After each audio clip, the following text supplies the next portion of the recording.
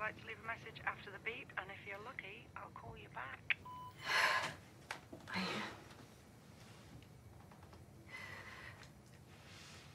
I'm sorry.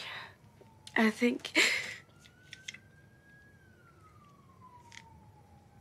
One day, uh, I could have got there.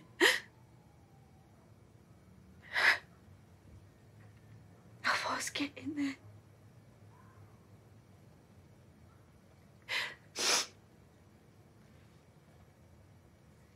Us real.